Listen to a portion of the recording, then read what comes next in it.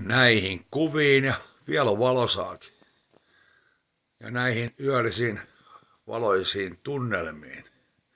Haluan toivottaa kaikille oikein hyvää ja rauhaisaa yötä. Nukutaan hyvin ja huomenna sitten torstai-päivä. Good night.